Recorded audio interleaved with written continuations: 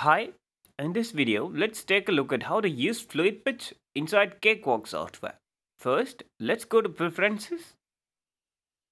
In the VST settings, deselect these two options because we want to use the VST2 version of Fluid Pitch. First, let's insert the VST2 version of Fluid Pitch and make sure the MIDI output is enabled. Now I'm gonna turn on the MPE mode because I'm going to use a synth that supports MPE.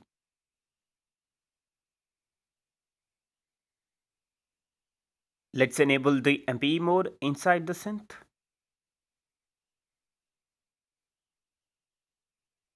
Now let's change the input of the synth from Omni to Fluid Pitch 1 MIDI Omni. Now turn on the monitoring for the fluid pitch.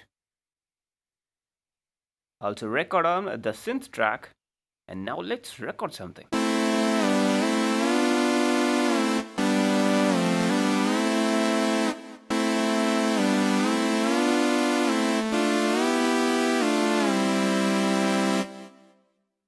And that's how we use fluid pitch inside Cakewalk.